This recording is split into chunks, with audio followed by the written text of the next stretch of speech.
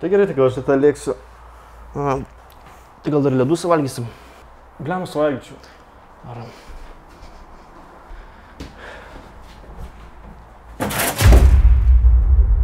Ai, nebėra čia tų ledų, žinok.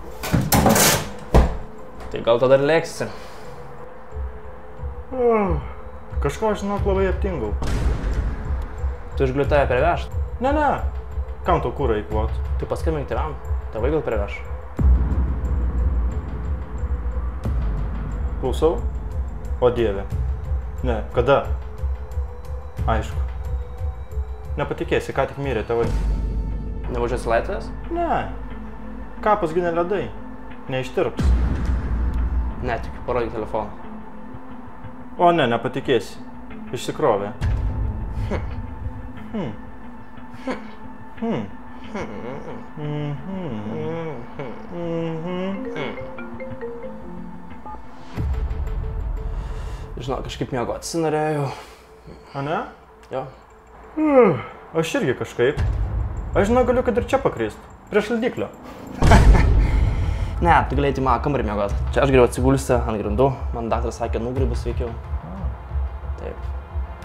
Čia dėl ledų, ne? Ką? Led, ledų? Kokių ledų? Ai, ledų. Nu. O tai dar ir šaldiklį parodysiu.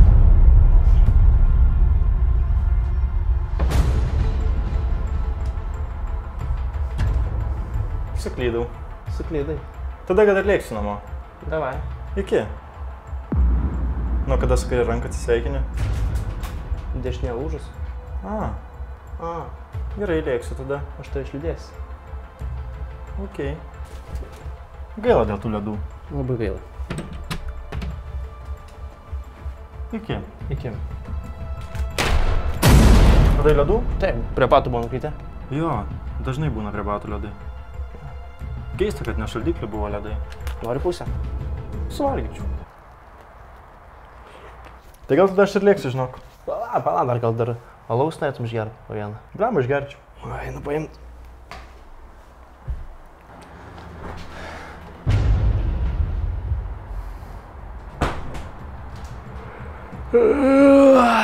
Žinok, kažkaip miegoti norėjau.